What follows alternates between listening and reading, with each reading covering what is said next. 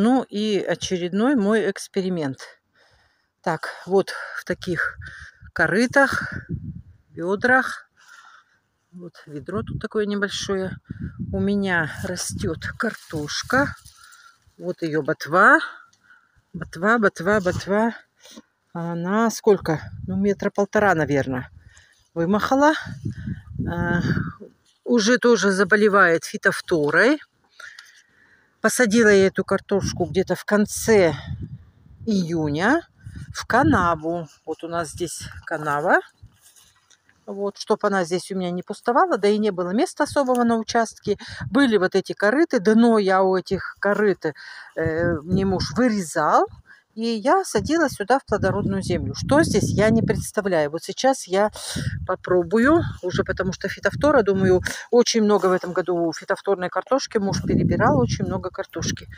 Так, вот тоже ботва такая не маленькая. Сейчас попробую вот из этого ведра выкопать.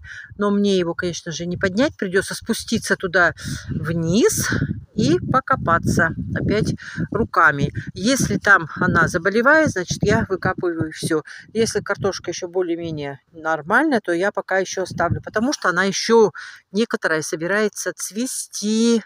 Какая отцвела, а какая еще вот собирается цвести. Так думаю, может быть еще, видите, еще даже и цветет. Потому что посажена была поздно. Ну что, и сделаю вывод, стоит ли садить картошку э, вот в такие емкости, потому что выкапывала когда основную с грядки, у меня там тоже одна емкость вот такая была, вкопана вот такой вот тазик. Там я сколько, 58 штук или сколько-то очень много, но она мелочь и она не цвела. Это-то у меня хоть цвела, а там картошка так и не отцвела и очень-очень мелковатая. Посмотрим, давайте. Так, все-таки я смогла ее поставить сюда наверх, а сама стою в канаве. Так, ну чего, попробуем. Куда бы мне землю-то хорошую. О, вон, видите, что там делается. А что там делается? Вот что делается. Какой-то сорт тут необычный. Мелкая? А нет, вот и крупная тут, пожалуйста, есть. Вот три штуки. Какой-то сорт тут интересный. Раскололся. Пять. Так, видно, да? Шесть. Вот такая мелковатая. Шесть. А она еще не, не отделяется. она еще прицеплена. Вон хорошо сидит. Шесть. Семь. Два сорта посадила. Восемь. Две, значит, картофель. Ага, вот все. Пошла фитофтора. Девять. Десять. Одиннадцать. Двенадцать. Пошла фитофтора. Опа.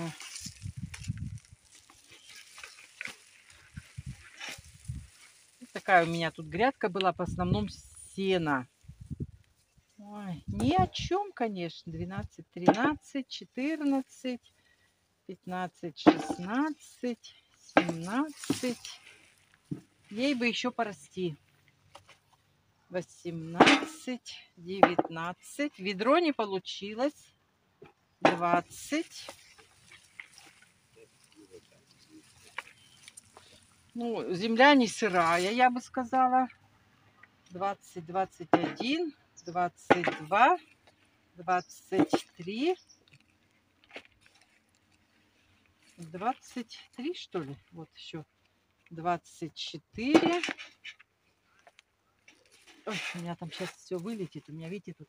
Вон, видите, нету. 24. И тут мелкая одна. Не буду ее. Ой, Вов, надо тебе червей? Смотрите, какие черви. Просто жирные. Набери. Иди. Вот муж у меня рыбак. Ему как раз таких червей и надо. О. Да. Вот. Ну, червей больше получилось, чем картошки. И жирные такие, хорошие черви. Ой, он с удовольствием их берет. Вот так вот. А картошки вот, не знаю, копать, не копать. Оставить еще в тех-то, в тех-то колбах. Было две картофелины посажено. Одного и второго сорта. Видите, я садила одного и второго сорта. Вот этот ни о чем. Вот он красный сорт. Раз, два, три, четыре, пять, шесть. Шесть картофелин всего. Ну, белый. Белый. Вот такие три штучки, остальные мелкие. Ну, два месяца она росла. И еще бы расти, потому что, в принципе-то, ботва еще хорошая. Ей бы еще бы две недельки бы посидеть бы. Можно. Тут хорошая земля у меня, так что ж ты... В общем, вот так вот. Пока не буду, наверное, я копать там. Ну, то есть вот тут вот я подожду пока. Подожду, пускай, может, нальется она. Недельки две я, наверное, погожу. Может быть, я ее прикрою. Чем, Вов, можно прикрыть? Какие-то есть у нас? Целлофаном-то неохота, может просто прикрыть, э, как-то поставить что-нибудь, доски, не доски, что-нибудь поставить, чтобы дождь не лил туда. Вот чего. Видите, я ее мульчи... Ой, она сырая тут у меня, мульчировала. Ну, ботва, вот она, она уже заболела, ботва, конечно. Ну, где-то и хорошая ботва еще есть. Оставлю, она не отделяется. Ладно, покажу потом еще и что получится вот в этих бадьях. Ну, а так, а так вот, на два дня нам с ним покушать. Один кус на два дня. В общем, как-то не очень. Ну, земля тут такая хорошая, переработанная. Сейчас я ее куда-нибудь высыплю на рассаду. Хотя, не знаю, фитофторная картошка. Ну, такой, как, как бы фитофторы-то бы и нет. Парша есть. Парша есть. Вот она, она. Садила в основном в сено. Мульчировала сено. Вот червячки все переработали. Здесь сплошной гумус зато получился. В принципе-то можно посадить. Но вот все-таки фитофтору получишь все равно. Хоть и поздно посадишь, хоть и рано посадишь, все равно фитофтора. Я, конечно, ожидала большего. С такой, во-первых, ботвой хорошащей. Ну, дала мало порасти. Опять же, мало. Два месяца мало для картошки. Надо, ну, два с половиной, ну, три.